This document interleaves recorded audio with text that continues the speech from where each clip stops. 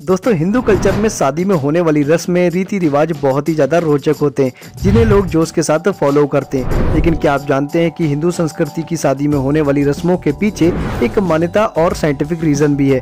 कभी आपने सोचा कि आखिर जूते क्यों चुराए जाते हैं? क्यों बरमाला पहनाई जाती है? क्यों हल्दी लगाई जाती है दूल्हा और दुल्हन को? इन सब का अपना एक अलग महत्व है। इन सभी चीज़ों के बारे में जानने के लिए बने रहिए इस वीडियो के एंड तक। हेलो दोस्तों, मैं हूँ आपका होस्ट सूरज कोहली और एक बार फिर से स्वागत है हमारे चैनल कोहली फ़ोटो सिक्स में। और आज की इस वीडियो में मैं आप लोगों के लिए एकदम यूनिक टॉपिक लेके आया हूँ। वो टॉपिक है हिंदू कल्चर में होने वाली शादियाँ और उसमें जो रीति रिवाज और रस्में होती हैं, मैं कुछ रस्मों के बारे में आपको बताऊँगा। साइंटिफिक रीज़न और आध्यात्मिक रीज़न दोनों ही बताने वाला हूँ आपको इस वीडियो में। इसलिए दोस्तों, जो वीडियो है, बहुत ज़्यादा इंटरेस्टिंग होने वाली है। इसलिए दोस्तों, आप इस वीडियो को बिना स्किप करें एंड तक आप ज़रूर देखें।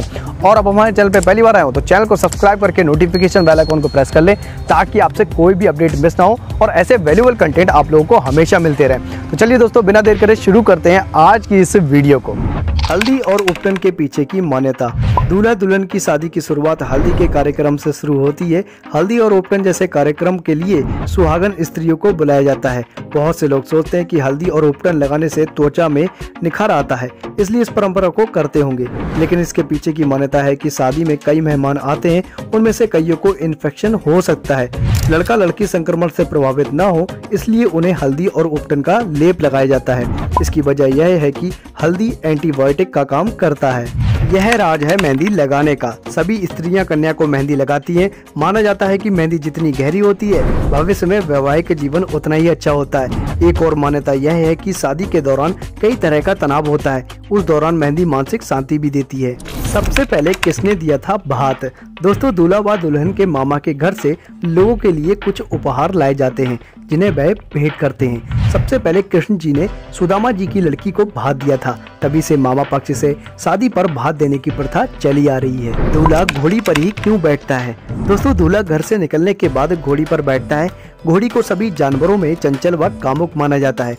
इसलिए बर को घोड़ी की पीठ पर बैठाकर बारात निकाली जाती है। मान्यता है कि बर इन दोनों बातों को स्वयं पर हावी ना होने दे, इसलिए उसे घोड़ी की पीठ पर बैठाया जाता है। शादी में इसलिए की जाती है भगवान गणेश जी की पूजा। दोस्तों, दूल्हा व बराती जब वो विवाह स्थल पर पहुँचते हैं तो दरवाजे पर कन्या पक्ष के लोग बारात का स्वागत करते हैं। इसके बाद कन्या के पिता व पंडित और उनके भाई सगे संबंधी सभी गणेश जी की पूजा करते हैं। गणेश जी की पूजा के बाद से ही कन्या के घर में सभी रस्में शुरू की जाती हैं और इस रस्म के बाद लड़के पक्ष के लोगों को गिफ्ट्स मिलते हैं। दुल्हन की होती है स्वीकृति। जयमाला में दूल्हा व दुल्हन एक दूसरे को माला पहनाते हैं। मान्यता है कि दूल्हा और दुल्हन एक दूसरे को माला पहनाकर आपसी स्वीकृति प्रदान करते हैं। विष्णु पुराण के अनुसार देवी लक्ष्मी जब समुद्र मंथन से प्रकट हुई तो उन्होंने भगवान विष्णु को माला पहनाकर पति रूप में स्वीकार किया था।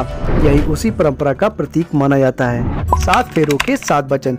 विवाह संस्कार में दूल्हा व दुल्हन का गठबंधन कर अग्नि के सामने सात फेरों के सात वचन लिए जाते हैं। पहले तीन फेरों में दुल्हन आगे रहती है, बाद के चार फेरों में दूल्हा आगे रहता है। दूल्हा दुल्हन को सात वचन देता है, वही दुल्हन भी दूल्हे को सात वचन देती है। इसके बाद विवाह संस्कार का कार्यक्रम पूरा होता है। समाज में मिलती है मान्यता। विवाह मंडप में सात फेरों के बाद दूल्हा अपनी दुल्हन की मांग में लाल रंग का सिंदूर भरता है, ताकि वह सदा सौगन रहे और समाज में उसकी पत्नी के रूप में जानी जाए। सिंदूर लगाने की परंपरा के पीछे वैज्ञानिक कारण है कि जहाँ सिंदूर लगाते हैं, वो ब्रह्मरंध्र होता है। ब्रह्मरंध्र का मतलब मस्तिष्क का मध्य बिंदु, जो ब्रह्मांड के मध्य में ब्रह्मलोक माना गया है, जो सिंदूर लगाने से मन को नियंत्रित रखने में सहायक होता है। शादी के दौरान क्यों चुराए जाते हैं दूल्हे के जूते? शादी की सारी रस्मों में से एक रस्म जूते चुराने की भी होती है। हालाँकि इसके पीछे का कारण क्या है, इसके बारे में बहुत कम लोग जानते हैं। आइए कारण जानने से पहले यह जानने की कोशिश करते हैं कि यह रस्म कब होती है। पूरी शादी के दौरान दूल्हे ने अपने जूते पहने रखे होते हैं, लेकिन फेरों के लिए जूते उतारने पड़ते हैं। मंडप पर दूल्हा जैसे ही जूते उतार कर बैठता है, लड़की वालों की तरफ़ से कोई जूते चुरा लेता है। इसके बाद दूल्हे को जूते वापस लेने के लिए पैसे देने पड़ते हैं। आजकल चूँकि सभी लोग इस रस्म के बारे में जानते हैं, इसलिए बहुत से दूल्हे पहले से ही अपने जूतों को छुपा देते हैं। जूते चुराने की रस्म के पीछे अलग अलग कारण बताए जाते हैं। कहा जाता है कि किसी भी व्यक्ति के जूते उसके बारे में बहुत कुछ बता देते हैं। ऐसे में दुल्हन की बहन जूते चुरा कर ही अपने जीजा जी का टेस्ट लेती है। देखना यह होता है कि दूल्हा कितनी समझदारी के साथ अपने जूते वापस लेता है। माहौल को खुशनुमा बना देती है ये रस्म। फेरों के बाद सभी विदाई को लेकर भावुक होते हैं। ऐसे में दूल्हे के जूते चुराने की रस्म से सारा माहौल खुशनुमा हो जाता है और सभी खिलखिला उठते हैं। इस रस्म के दौरान लड़के और लड़की वालों के बीच में दो टीम बट जाती हैं और खूब हँसी मज़ाक चलता है। साथ ही साथ रिश्तों को बेहतर करने का भी काम करती है ये रस्म। दोस्तों, इस रस्म के दौरान दोनों परिवारों के बीच में बातचीत होती है, जिससे रिश्ते बेहतर होते हैं। दोनों परिवार के लोग आपस में एक दूसरे से बात करते हैं, जिससे आगे के लिए उनकी पहचान हो जाती है। इससे साफ़ हो जाता है कि भारत में शादी के दौरान होने वाली अन्य रस्मों की तरह जूते चुराई की रस्म के पीछे भी कुछ विशेष कारण हैं। बता दें कि दोस्तों, कि बॉलीवुड स्टार्स भी इस रस्म का खूब आनंद लेते हैं दोस्तों, ये थी कुछ रस्में जिसके बारे में मैंने आप लोगों को बताया। अगर आप शादी के दौरान होने वाली किसी और रस्म के बारे में जानना चाहते हैं तो मुझे अगर आप बहुत ज़्यादा कमेंट करेंगे तो मैं उसके लिए आप लोगों के लिए अलग वीडियो बना दूँगा। उम्मीद करता हूँ कि मेरे सभी दोस्तों को पता चल गया होगा कि जो हिंदू कल्चर में जो शादियाँ होती हैं, उनमें जो रस्में होती हैं, उनके पीछे का कोई कारण होता है, और आपको ये वीडियो अच्छी लगी हो तो कर दे इस वीडियो को लाइक और इस वीडियो को अपने दोस्तों के साथ, अपने सगे संबंधियों के साथ सबके साथ शेयर कीजिएगा ताकि उन लोगों को भी अच्छे से जानने का मौका मिल सके। शादियों में जो रस्में होती हैं, वो क्यों होती हैं? और दोस्तों, इस वीडियो को अपने दोस्त को ज़रूर शेयर कीजिएगा, जिसकी शादी अभी आस पास में हो, ताकि वो भी जान सके अपनी शादी में जो होने वाली रस्में हैं। और दोस्तों, हमें कमेंट सेक्शन में आप ज़रूर बताया कि इन रस्मों के बारे में आपको कितना पता था या नहीं। और दोस्तों, हमसे और भी ज़्यादा कनेक्ट होने के लिए हमें फॉलो करें इंस्टाग्राम अकाउंट पर।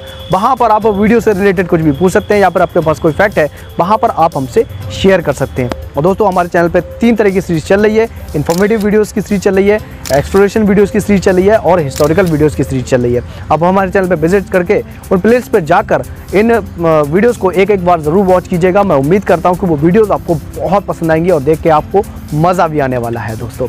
तो दोस्तों, मिलते हैं किसी नेक्स्ट वीडियो के साथ। तब तक के लिए टाटा बाय बाय